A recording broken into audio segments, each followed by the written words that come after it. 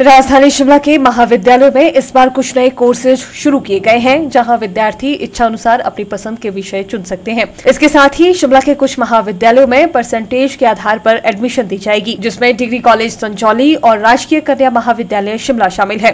प्रदेश के सबसे बड़े कन्या महाविद्यालय आरकेएमवी की प्रधानाचार्य डॉक्टर रुचि रमेश ने बताया की सोमवार से एडमिशन पोर्टल खुल गया है, जहाँ छात्राएँ इस प्रक्रिया में शामिल हो सकती है। वही बीस जुलाई तक एडमिशन की प्रक्रिया रहेगी। इसके साथ साथ 26 जुलाई को मेरिट लिस्ट जारी कर दी जाएगी। वहीं एक अगस्त से कॉलेजों में नया सेशन शुरू हो जाएगा। कॉलेज तो एक्चुअली पाँच तारीख से खुले हैं, लेकिन एडमिशन प्रोसेस जो था वो दस तारीख से शुरू हो चुका है। तो दस से बीस तक जो है वो फॉर्म सबमिशन की डेट है।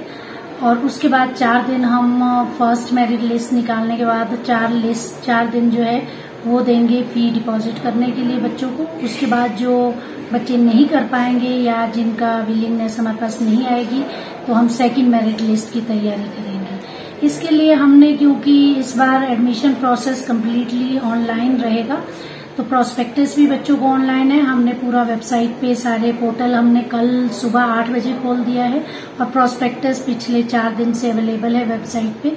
इसके अलावा जो आज हमने जो फ़र्स्ट ईयर कमेटी के जितने भी मेंबर्स है और कन्वीनर्स है, उनको, उनका एक ट्रेनिंग प्रोग्राम रखा है।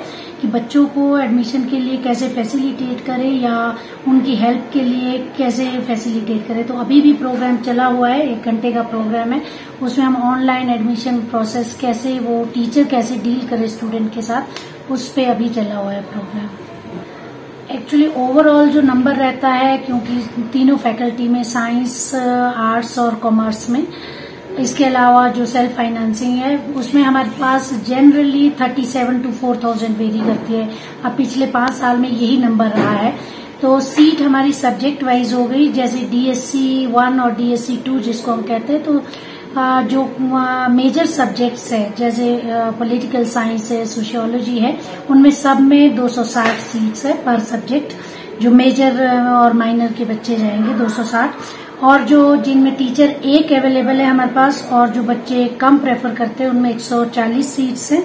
उसके अलावा जो प्रैक्टिकल सब्जेक्ट्स हैं, उनमें डिपेंड करता है, जैसे म्यूज़िक में हमारे पास म्यूज़िक है डांस है पेंटिंग है, उनमें 40 सीट्स है। प्रैक्टिकल वाले जो सब्जेक्ट है, उनमें 80 सीट पर सब्जेक्ट रहती है।